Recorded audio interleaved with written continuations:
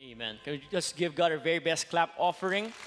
Hallelujah. It's a great day to be in the house of God for God's presence is here in this place. And good day, church.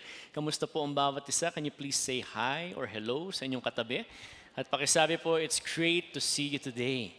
And also, we welcome our first-time visitors who are here in the house of God. At sana po after the service, you could spend a little time po dun sa ating iCafe para po mas ma-welcome po namin kayo ng maayos. At sino po dito ang excited to hear God's Word today? Sa nga po lahat po na excited, pumalakpak po para sa ating Panginoon. And I'm also excited to be here to preach to you God's Word. But before that, pwede po ba pataas muna ng kamay ng mga feeling tired lately? May mga feeling, ayan, dami po natin. So sama-sama po tayo. Akala ko ako lang mag-isa ang feeling tired.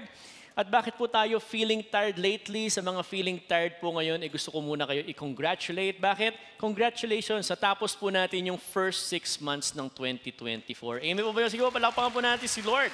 At tayo po ay nakapasok na po sa second half and I believe greater things are yet to come para po sa pagtatapos ng ating taon. Kaya po pagod na pagod, ang dami po nating kabisihan, dami po nangyari for the past six months and we are still here standing. At ano po po yung mga bagay na dahilan kaya po tayo feeling tired? Siguro po ito po yung na-experience natin. Ako po personally, na-experience ko po ito. We could be tired by doing nothing. Sino po naka-experience po niya? Oh, yan yung ginagawa natin ngayon.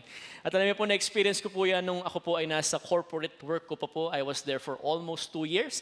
And true enough, for that almost two years, halos wala po akong ginagawa sa kumpanya. Paikot-ikot lang po ako dun sa, building, wala po akong ginagawa. And nakakapagod din po palang walang ginagawa. Bakit po? Kasi hindi po natin nakikita yung growth sa ating buhay and it becomes tiring kapag araw-araw po ganun.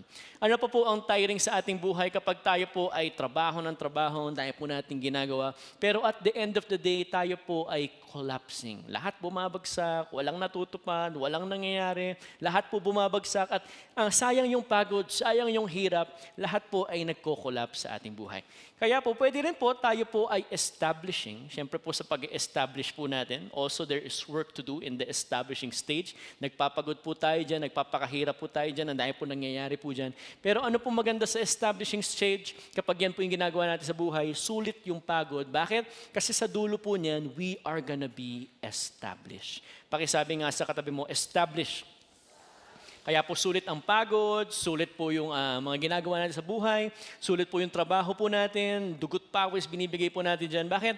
Kasi sa dulo po niyan, we're gonna be established. Kaya po makikita po ba natin to sa mga Bible characters sa Bible? Yes. Kasi kung kilala po natin si Eli the priest, siya po yung wala pong ginawa sa buhay. Pwede niyo po siyang hanapin sa Bible. He did nothing. Siya po ay paupo-upo lang, pakuya-kuya-kuy lang. Kaya ano pong nangyari po sa kanyang buhay? Yung kanyang mga anak po ay napariwara. Sila po ay naging patapon, hindi po naging maganda yung kanilang future dahil yung kanilang tata, yung kanilang priest ay wala pong ginawa sa buhay. So makikita din po natin yan sa buhay po ni King Saul. Ano po nangyari kay King Saul? He kept on collapsing sa kanyang buhay.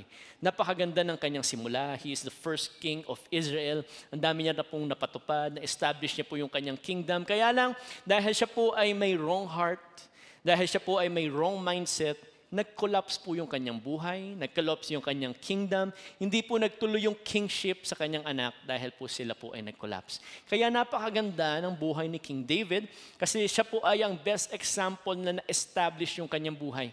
Di ba, napakaganda ng kanyang puso, napakaganda ng kanyang spirit, napakaganda ng kanyang mind. Siya po ay gustong sumunod sa lahat ng pinapagawa ng Panginoon para sa kanyang buhay. Kaya he was able to establish his life. He was able to establish God's kingdom, yung kingdom niya. Kaya po magtutuloy po yung kingship sa kanyang anak na si King Solomon. At yan po yung pag-uusapan po natin, yung buhay po ni King Solomon. At ano kayang gagawin ni King Solomon? Sino kaya ang susundan niya po sa tatlo po na yan? Dahil pwede rin po siyang walang gawin sa kanyang leadership. Pwede po siya magkaroon ng wrong heart at mag-collapse yung kanyang buhay. Or pwede po siya sumunod sa yapak ng kanyang tatay na talagang in-establish yung kanyang sarili sa presensya at sa pinapagawa ng Panginoon para sa kanyang buhay. Kaya today, if you have your Bibles with you, let's open it in 1 Chronicles chapter 28, verse 9. At ito po yung salita ng Panginoon para sa atin. Ito po yung uh, instruction ni King David para sa kanyang anak. At sabi po dito, As for you, my son Solomon, know the God of your father, serve him with a loyal heart and a willing mind. Bakit po? For the Lord searches all hearts and understands the intents of the thoughts. Why? Because if you seek God, if you seek Him, He will be found by you. But if you forsake Him, he, you will be cast off forever. Kaya bago po tayo magpatuloy sa salita ng Panginoon, let's all bow down our heads and let us pray. Lord, thank you, Lord God, for this beautiful Sunday. Lord God, you have gathered us here in your house, Lord God, because you are here in this place, Panginoon. Lord God, ikaw ang pinunta namin dito. Lord God, we came for your power. We came for your glory. We came for your word. Lord God, we came for your presence. At naniniwala kami, Panginoon, right this very Sunday, hindi mo kami bibiguin, Panginoon. Kakatagpuin mo kami, Lord God, today here in our midst, Panginoon. So today, Lord God, we humbly ask for your anointing, your wisdom, and your favor. At ngayon pa lang, Panginoon, we already claim the victory in the name of Jesus Christ. Everybody shout. Amen and amen. Sige po, palakpakan po natin si Lord. At sa panahon po ngayon, kaninong king ba tayo pwede po makarelate? Dalhin muna natin sa larangan ng basketball at ang tawag po sa kanya ay si King James. Sino po dito mga fans po ni LeBron James? So kanina pong service, meron ako po kasi ay Steph Curry fan. Pero dahil po sa pag-uusapan po natin, si LeBron James muna ang highlight po natin. So ano po ba yung mga achievement po ni LeBron James sa kanyang buhay? Ang dami niya pong championship na na-accomplish. Ang dami niya pong MVP awards na natanggap sa kanyang buhay dahil po sa galing po niya. And I think isa po siya sa pinakamatagal na po na nasa league po hanggang ngayon. I think 20 years na po siya nasa league. Kaya po siya na po ngayon ang leading scorer Meron po siyang more than 40,000 points. Number one na po siya, highest scorer in the lifetime ng buong NBA. Ganyan po siya kagaling. At alam niyo po, bakit po siya viral po ngayon? Nag-viral po siya lately. Bakit? Uh, siya po ay meron pong history in the making. Bakit? Sila po ang nagkaroon ng first father and son duo sa NBA. Bakit? Kasi yung kanyang anak na si Bronny James Jr. nakapasok po sa league, nakapasok po sa NBA, at same team pa po sila, nalalaro po sa Los Angeles Lakers. Wow! What a beautiful feat, what a beautiful achievement. Father and son, pangarap ng tatay yan, pangarap siguro ng anak po yan. Kung ako po yan, tuwang-tuwa po ko dyan sa kanilang na-accomplish. However, ano po nangyari po sa social media, ang dami pong bashers po ngayon ni Bronny James. Bakit? Sa tingin po nila, hindi karapat dapat si Bronny James na makapasok sa NBA. Sa tingin po ng mga tao po, ay siya po ay nandyan lang dahil sa kanyang tatay. Kaya po, ang dami pong bash, ang dami pong persecution, ang dami pong pressure, challenges dapat patunayan talaga ni Bronny James na karapat dapat po siya dyan. So paano po natin yung marerelate sa buhay po ni King Solomon? E ganyan po pala kahirap sumunod sa yapak ng isang tatay. Ganyan po kahirap sumunod sa na-establish po ni King David. Dahil po si King David napaka-establish na tao, napakaganda ng ginawa niya po for the kingdom. Ngayon po, ito yung next in line si King Solomon. Siguro matinding bashing din, matinding pressure, matinding challenges din ang na-experience po nila nung panahon po na yun. Siguro po katulad po na na-experience ng anak ni LeBron James para sa ating buhay po ngayon. Kaya po, makaka-relate din po tayo dyan. Bakit? Because our church has been established for 34 years. Next month po, magsa-celebrate na po tayo ng ating anniversary. Sige po, palakpakan po natin si Lord para dyan. Kaya pakibati muna ang inyong katabi. Sabi mo, advance happy anniversary. Tayo po ay sinasamahan at pinagpapala ng Panginoon for 34 years ng ating uh, simbahan. Nakakatuwa. Kaya po, sana po mas-save po natin yung dates, August 20 to 25. We're gonna be having week-long celebration. Marami pong events. Please wait for further details. Kaya po sana po ma-invite po natin yung ating friends and family para tayo po ay mag-celebrate sa 34 years na ginawa ng Panginoon para sa ating church. At tayo po in-establish ng Panginoon for 34 years. Very successful, very significant significant. Ang dami po natin nagagawa, ang dami po natin na uh, nangyayari sa ating simbahan. Kaya po, the challenge is for the next generation e aabot po kaya tayo sa bigger vision na binibigay ng Panginoon para sa atin?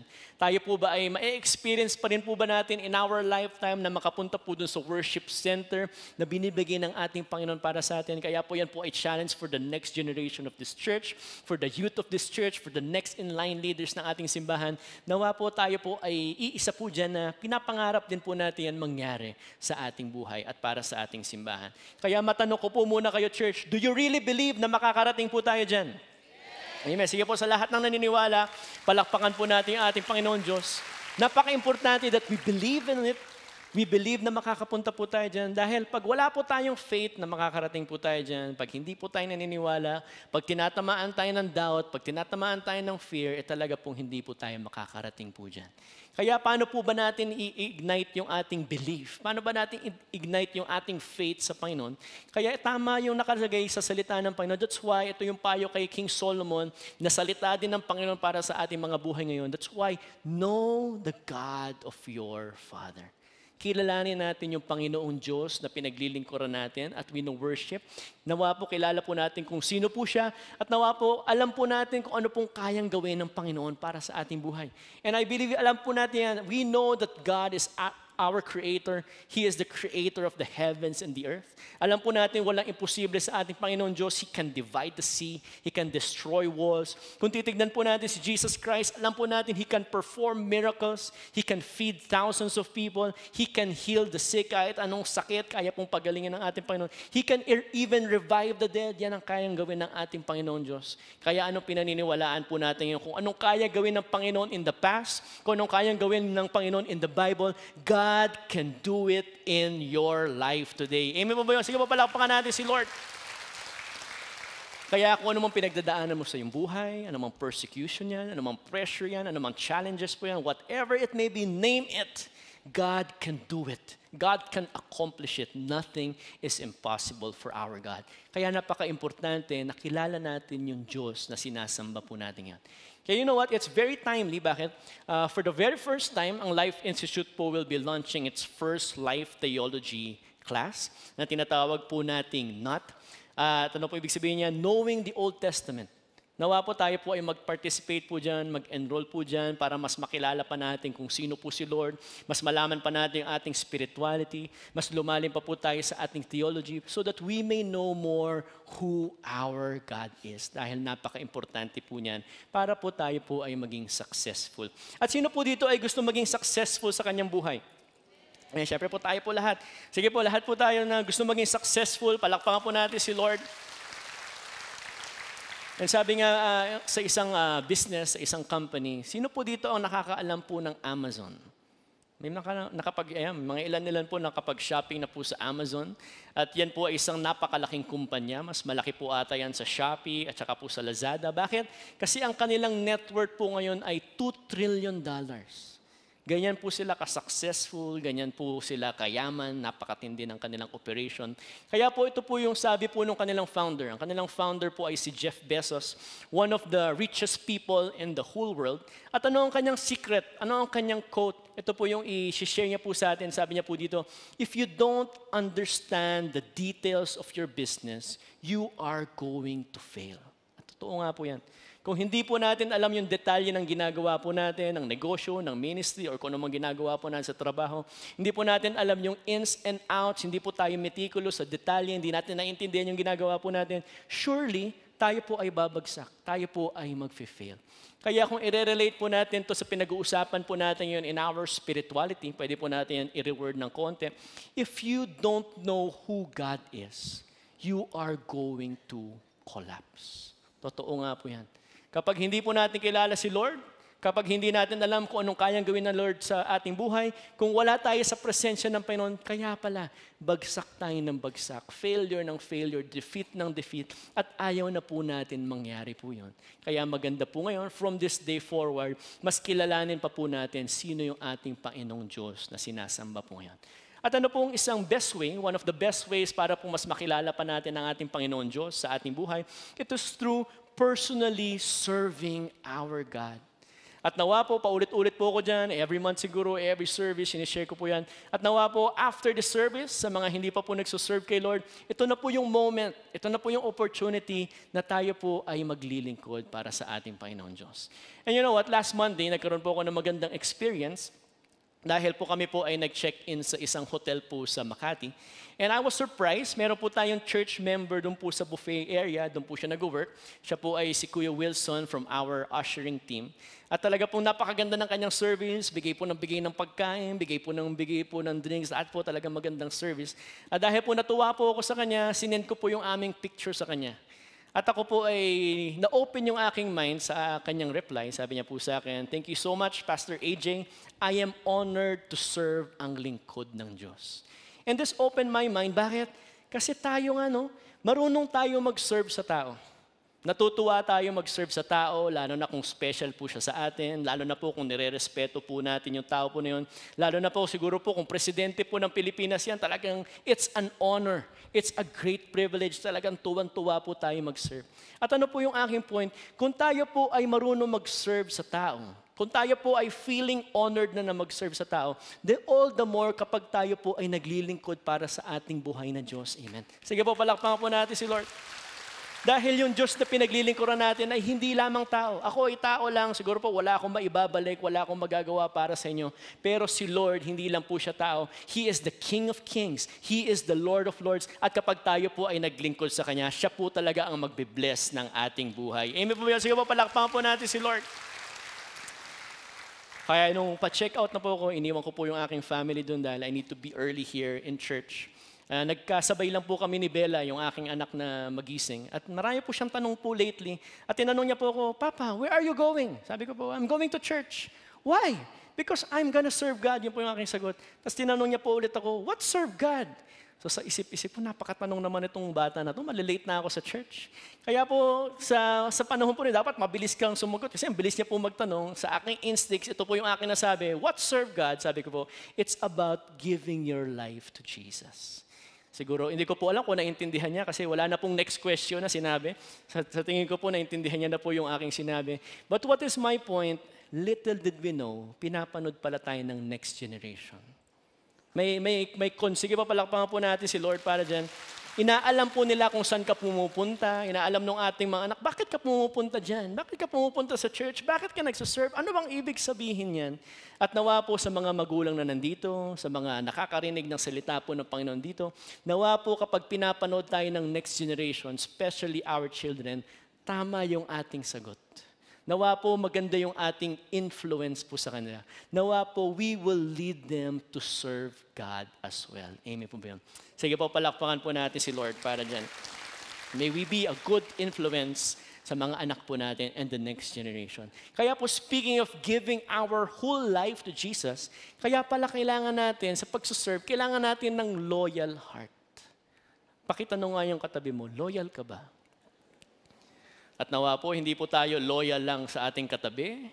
Nawa po, hindi lang po tayo loyal sa ating family. Nawa po, tayo po ay loyal din sa ating Panginoon.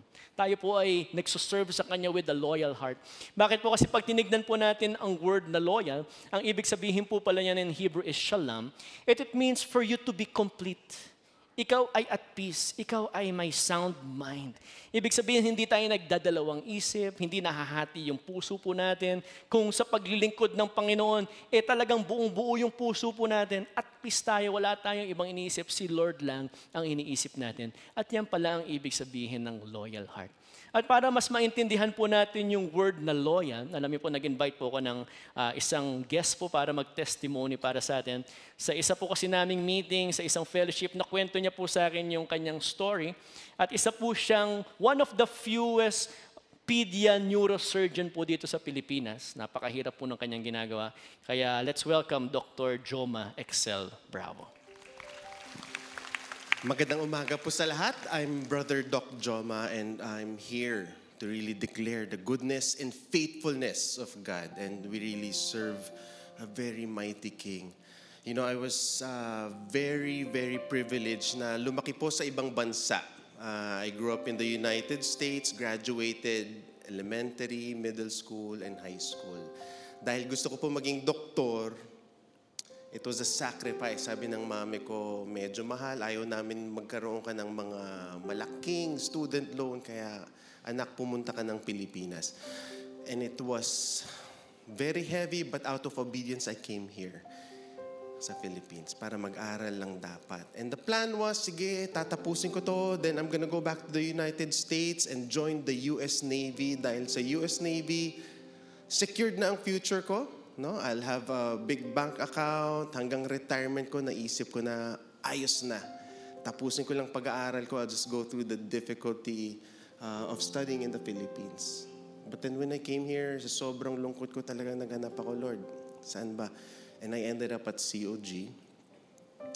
And during my time in COG, I would attend the midweek services. Dati may mga prayer meetings tayo on Wednesdays. And then dawn watch, I would go there. At habang nandun po ako, nagsusumiksik kay Lord, naririnig ko po yung mga pastor natin, yung mga leaders natin na pinagpe-pray ang bansang Pilipinas. So syempre nandun ako, na- naririnig ko yung hagulgol ng mga pastor natin, ng mga leaders natin. And sabi ko, Lord, how can I participate in this prayer when my heart is somewhere else? Sabi ko, parang hindi yata okay yun. So I prayed about it and cut the long story short, you know, I've lived in the Philippines far longer than I, I've lived in the United States. There was a point when I, had, I asked my parents, sabi ko, "Ah, Mom, Dad, alam ko you might have plans for me, expectations, pinag-aral niyo ako, but I think God needs me to stay in the Philippines to serve the Filipinos. And I had to file. No, I, I ginive up ko po yung aking green card. Ginive up ko po yung green card ko. And upon filing it, ang nakasulat po doon as I'm applying, abandonment. Sabi ko, grabe, ang bigat naman, abandonment of your green card. And sabi ko, Lord, okay lang yon. Kasi Lord, kung iniisip ko US Navy, kayo din naman yung Diyos na magpapala sa akin sa Amerika. Kayo din, Lord, ang Diyos na aasahan ko dito sa Pilipinas.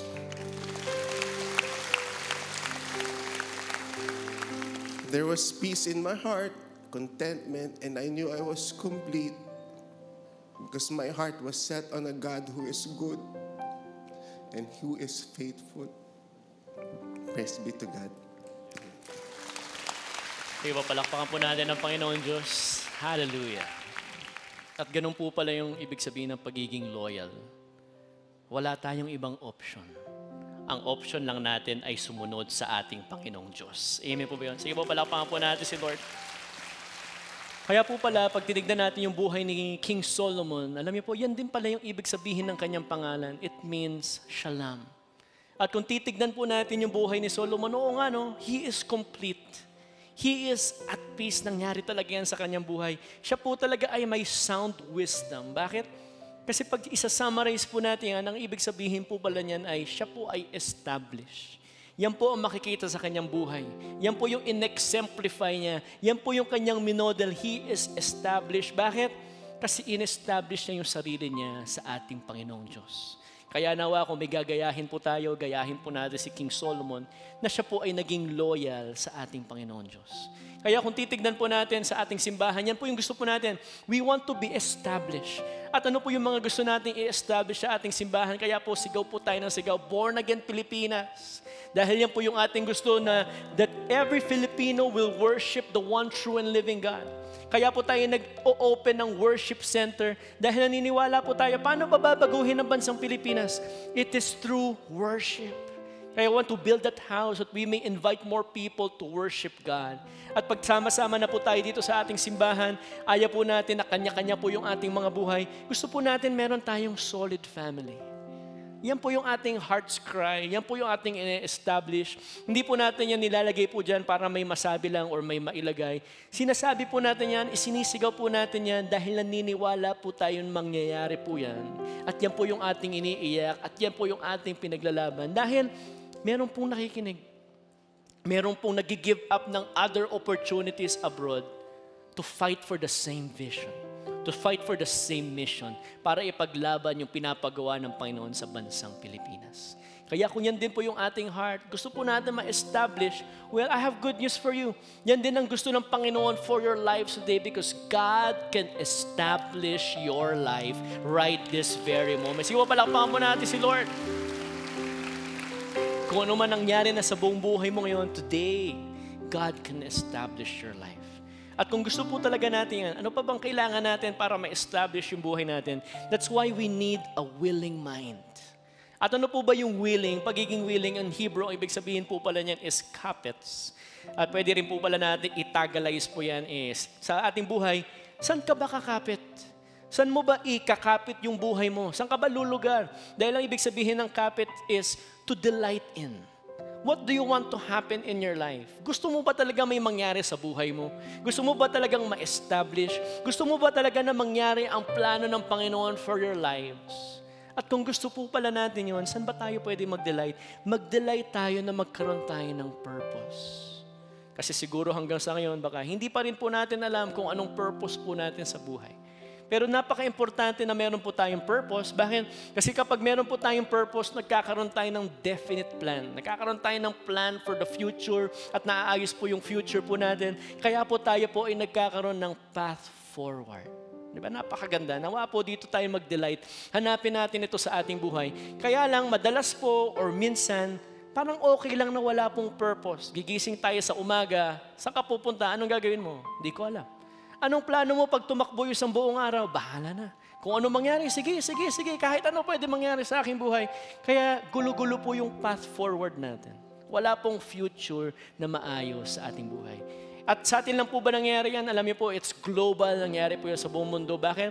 I found out sa isang research, 87% of people do not know their purpose.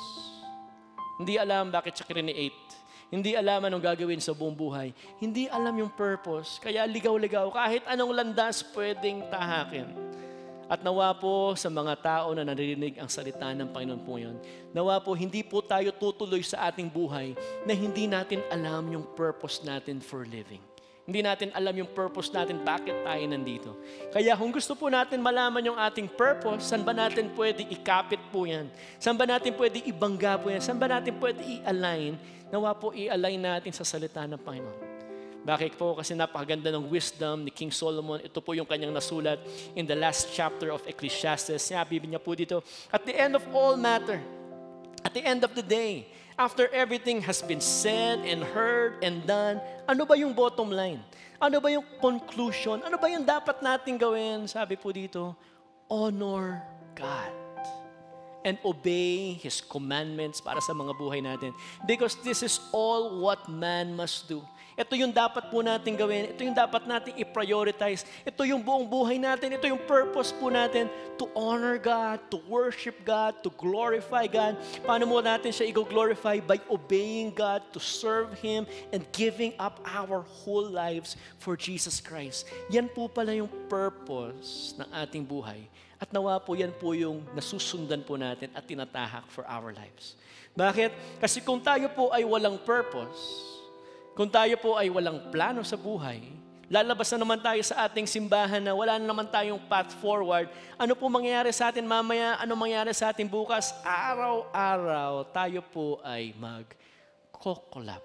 Kaya pala nakakapagod ang buhay. Kaya pala parang walang nangyayari. Kaya pala parang walang pinupuntahan. Kaya pala paikot-ikot lang dahil tayo po ay nagko-collapse. At yan po ay ayaw po natin mangyari. Nakakapagod po yan. Ayaw ni Lord na ganyan yung buhay po natin. Kaya bakit natin kailangan si Lord? For the Lord searches all hearts and understands all the intents of your thoughts. Di ba po kasi minsan pag may kausap tayo, gusto natin tulungan, kaya lang hindi natin siya maintindihan eh. Hindi mo maintindihan yung puso niya, hindi mo maintindihan yung tumatakbo sa isip niya, kaya ang hirap pong tulungan. At madalas po, yan din po yung nangyari sa ating buhay. Minsan hindi rin po natin maintindihan yung ating sarili.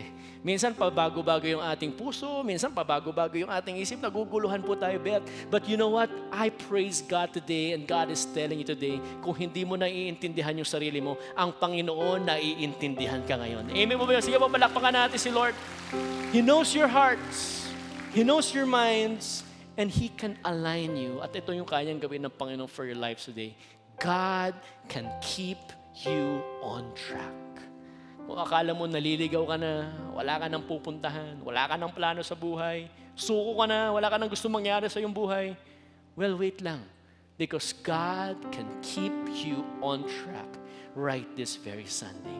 Kaya ano bang kayang gawin ng Panginoon for your lives today? Ano bang kayang gawin ng Panginoon for our lives, for our church?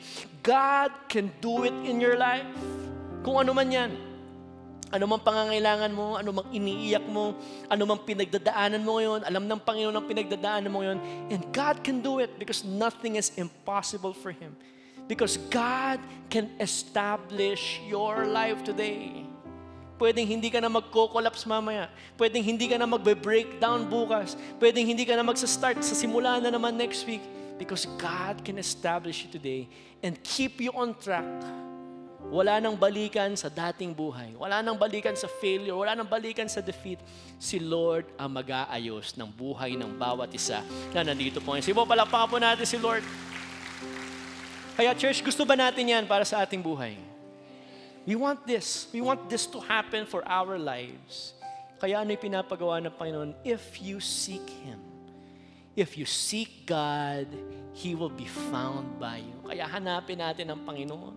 Kilalanin natin yung ating Panginoon Diyos. Lumapit tayo ng lumapit sa Kanya. Pwede rin po natin itagalize po yan, yung word po na seek. Ano dapat natin gawin? Isiksik mo.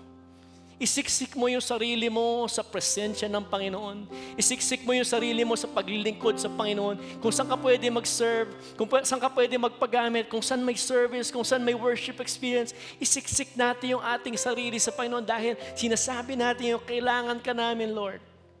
Bakit? Kasi kapag kabaliktaran na naman po yung ginawa natin after the service, tatakbo na naman tayo palayo, Iiwas na naman po tayo, magdadahilan na naman tayo, magko-complain na naman tayo. Uh, hindi naman tayo susunod sa ating Panginoon. Ano po mangyayari? Because if you forsake Him, He will cast you off forever. Malalayo talaga tayo sa presensya ng Panginoon. Mawawala tayo sa anointing, sa wisdom, sa bibigay na favor ng Panginoon para sa ating buhay. At yun po yung tunay na collapse. The ultimate collapse dahil hindi po natin kakayanin yung ating buhay na wala yung Panginoong Diyos sa ating buhay po ngayon. Kaya po kung titignan po yung, natin yung ating church, we have been established for 34 years. Sinamahan tayo ng Panginoon for 34 years. Kitang-kita po natin yung success. Kitang-kita natin yung significance. Kitang-kita natin yung blessing. Ito po tayo lahat. Na-experience natin yung pagpapala ng Panginoon. At minsan po pwede po natin matanong. Ako po natatanong ko, how did we do it? Paano natin nagawa lahat ng ito? At kapag tinatry ko po i-analyze, tinatry ko po i-realize, bakit, bakit ganito? Hindi po sa tao eh. Hindi sa galing ng tao, hindi sa talents, hindi sa skills. Nade-defeat po yung aking engineering mind, hindi ko po maintindihan paano po nangyari po ang lahat ng ito. Pero isa lang po yung sagot, truly, not by might, nor by power. Nandito po tayo ngayon dahil lamang po sa pabor ng Panginoon para sa ating buhay. Amen po ba? Sige po, palakpakan natin si Lord. We are here because of God's favor. At kung na-amaze tayo kung paano tayo blines ng Panginoon, paano tayo sinamahan sa simbahan na to, I have good news for you. Why? Because God can also favor your life today. Amen po ba? Sige po, palakpakan natin si Lord. Kaya ngayon, church, gusto niyo rin po ba yung pabor ng Panginoon para sa inyong buhay? Amen. We want to experience God's favor. Kaya ito pala yung instruction. Ito po yung pinapagawa ng Panginoon for our lives today. That's why you got to know God. You got to serve Him with a loyal heart and a willing mind. At ganyan po tayo ma-establish sa Panginoon. Ma-establish yung buhay po natin. Ma-establish tayo sa presensya ng Panginoon. Kaya today, church, gusto niyo po bang ma-establish ngayong araw na to? Kung ikaw po yan ngayon, pwede ka bang tumayo from your seats? Sinasabi mo, yes God, ito na yung araw na gusto ko ma-establish yung aking buhay. Ayoko na napaikot-ikot na naman. Lord, ayoko na doubtful na naman ako, Lord. Ayoko na fearful na naman ako, Lord. Ayoko magbe-breakdown na naman ako mamaya, Lord. I want to be established today. And if that person is you, pwede ba natin itaas yung dalawang kamay natin para sa Panginoon? At sa pagtaas po natin ng ating dalawang kamay, we are committing our whole lives to Jesus. We surrender our all to you. And here I am, Lord. Use me all for your greater glory.